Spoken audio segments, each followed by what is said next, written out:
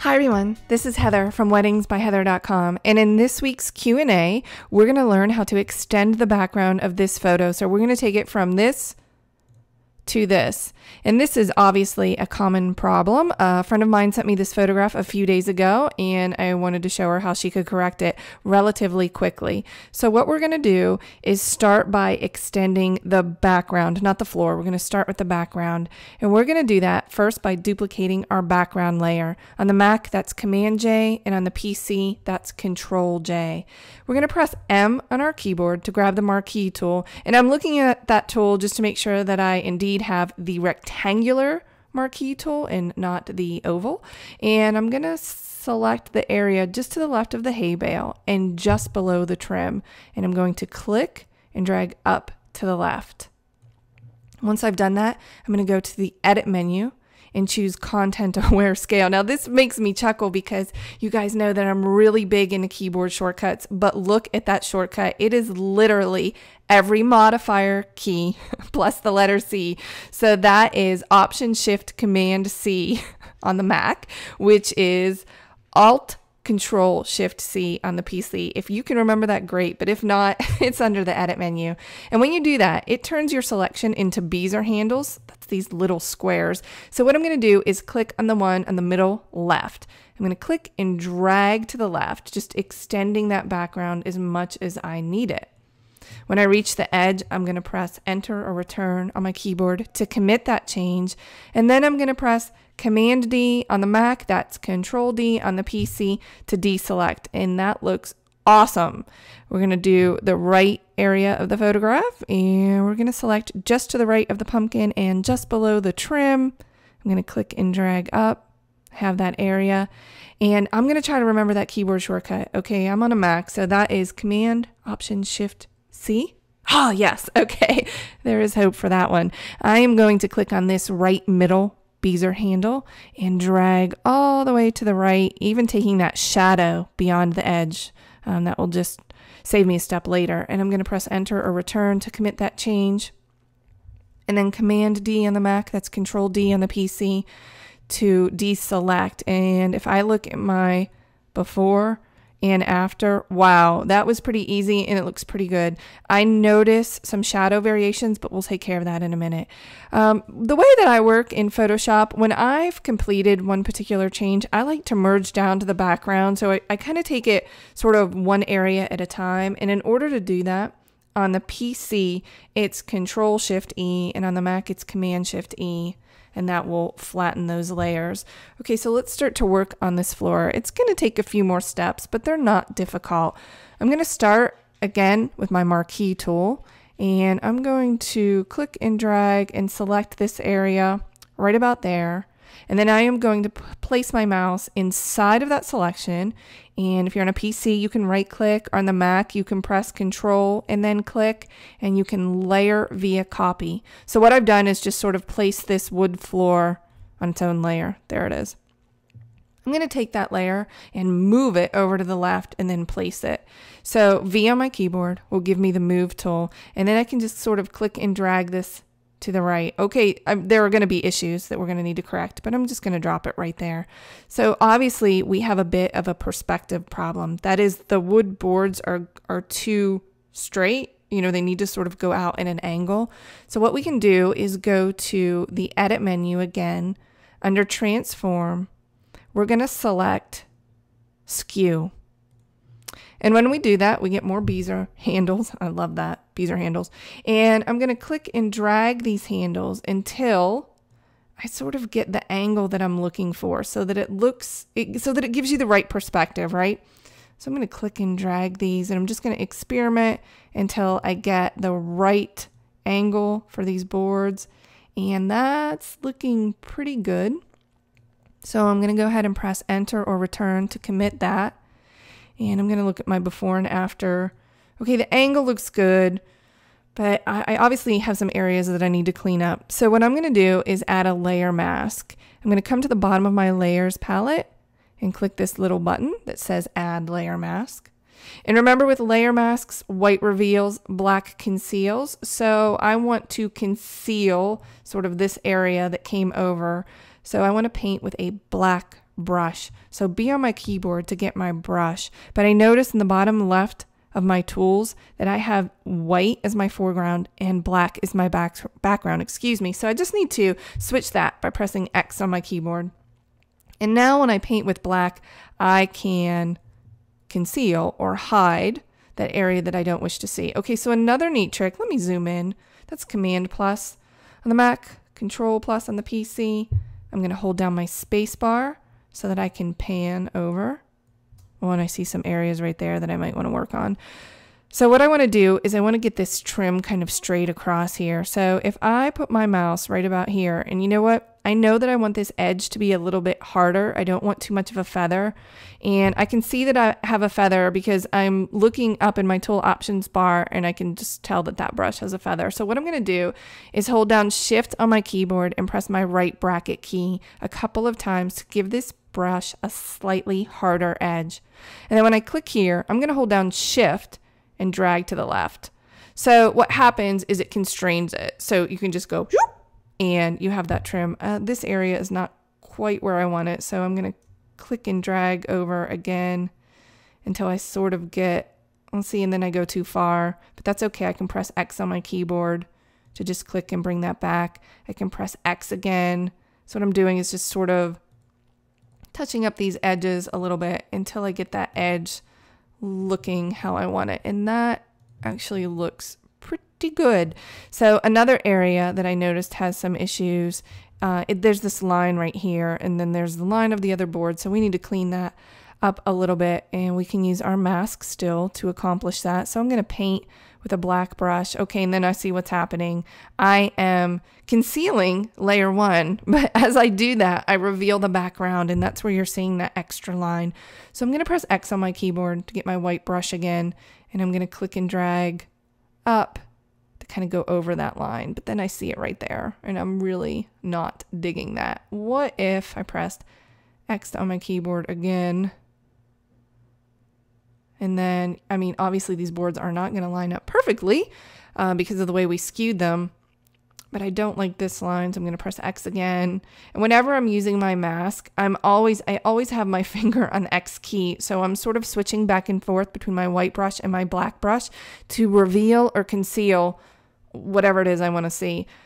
Okay, so I'm okay with that board being a little bit wider but I am not okay with this this kind of hard line right here. So I am, and if I press X and I reveal that again, what I'm going to do is soften the edge of my brush. And I'm going to do that by pressing Shift on my keyboard and the left bracket key. And I'm just going to kind of brush along here and see if I can't sort of blend that in using my mask tool. And that does look much better, although I started to see this line here. So I'm going to press X again and go over it and just make sure. You know sometimes you you start to maybe go cross-eyed or you're just looking too close at it. I'm going to do a command minus to back up a little bit.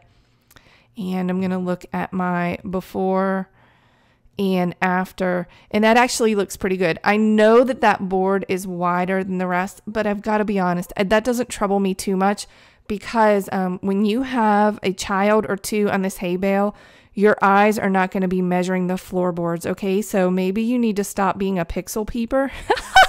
There's this thing called the minimum effective dose, and you're kind of like, how much work is worth cleaning this floor up? Um, I am a perfectionist, and I do think details matter, but at some point you have to say, okay, that looks pretty good from a distance, and I'm not, I'm not going to analyze it or over analyze it.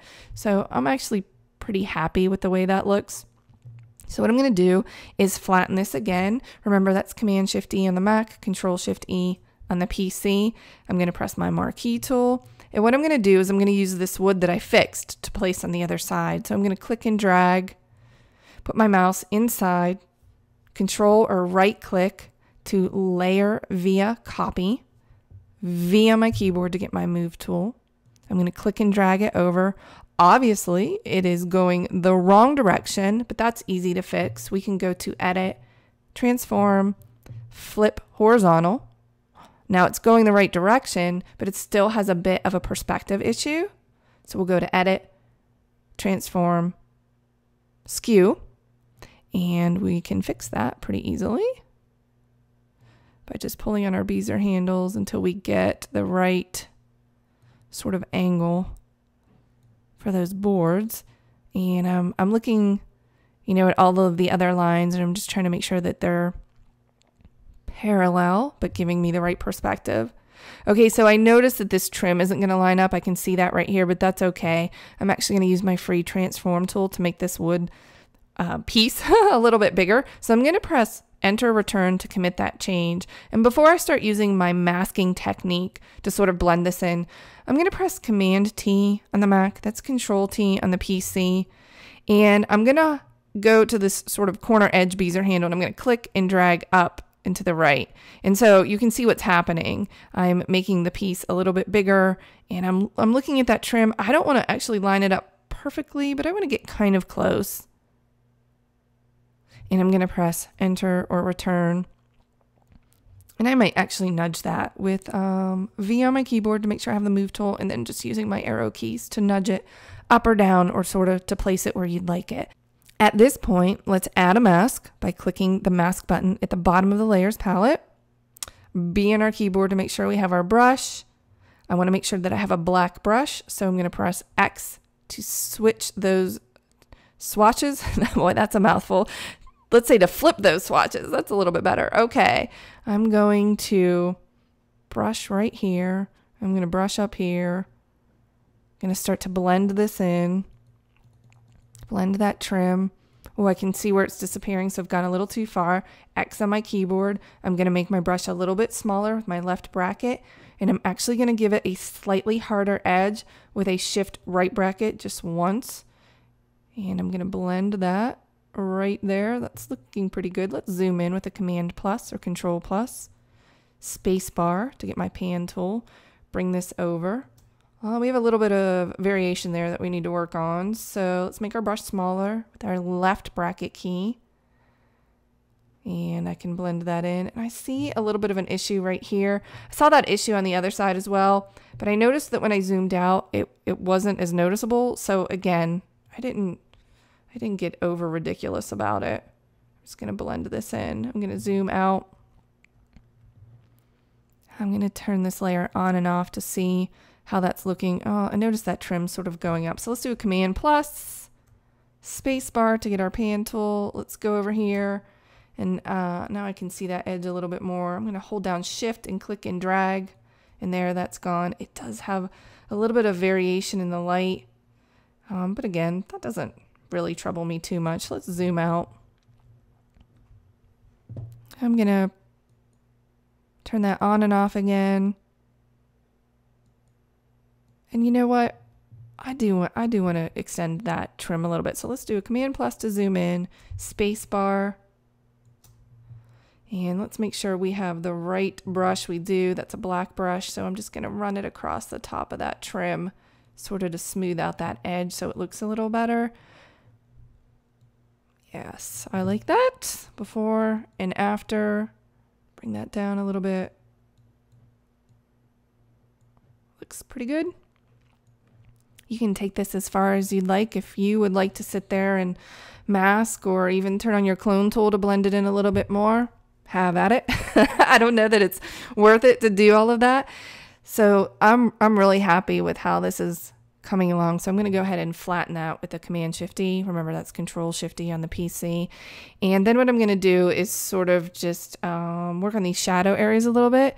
I am going to, I was going to duplicate my background layer. That's what I started to say. But you know what? I can do this in a blank layer. So that saves pixels. Let's do um, a new blank layer. And you can do that on your keyboard with Command Option Shift N that's Control Alt Shift N on the PC. That's the way to add a new layer without any questions. Um, because if you do not press Option or Alt in that keyboard shortcut, you'll get a box that asks you to name the layer, which is fine. I enjoy naming layers, but sometimes I just don't have time for questions.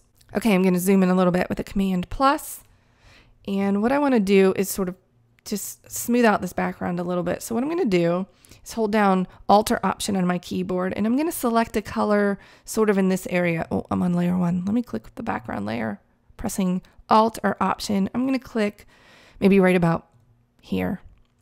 I'm going to go back to layer one, Make sure I have my brush tool be on my keyboard. I am going to bring down the flow of this brush way down, maybe around 14%, so that I can build up this change. I'm going to use my right bracket key to make the brush larger. I'm just going to start to really lightly brush. And if you have a Wacom tablet, you can use pressure sensitivity instead of pulling down on your flow. You could just brush lighter with your stylus. I'm going to do a little bit over here as well a little bit here. I don't mind that there's a little bit of shadow um, to the left of the hay bale and on on the left. Uh, I, I can see that the photographer, the light source, the main light source was camera right, and that's okay. I like sort of highlights to dark, so I don't want my light to be completely flat. So I'm going to leave a little bit of that variation there. I'm just going to look at that before and after, add a little bit right there. And I think that looks great. I'm going to do a Command Shift E, a Control Shift E, and you can jump over to your history, create a snapshot, and let's look at the before and the after.